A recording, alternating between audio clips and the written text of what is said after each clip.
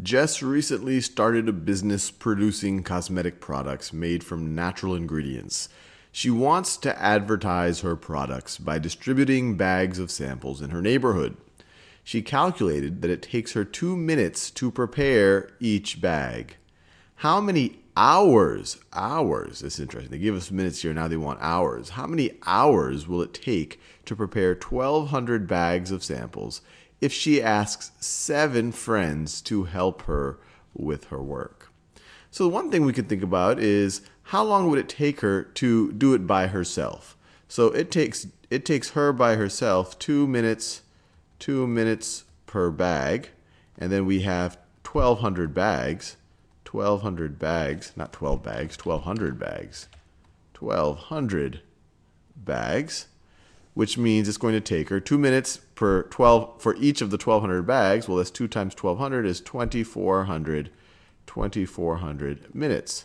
Now, that's if she was just working on it by herself, but she's got seven friends. And we can assume that they all would all take about two minutes to prepare each bag. Now, this is a little bit tricky because you might want to divide this by seven, saying, hey, we, we're going to have seven times as many people. But you remember, she asks seven friends. So there's actually eight people involved. There's Jess and her seven friends. So it's actually going to be eight times faster than if Jess did it by herself. So we're going to divide. This is if you only had one person. If you're going to have eight people, you are going to take eight times less time.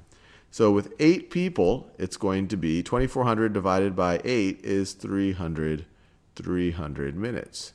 And we're almost done, except for the fact that they asked for our answer in terms of hours. So 300 minutes is how many hours?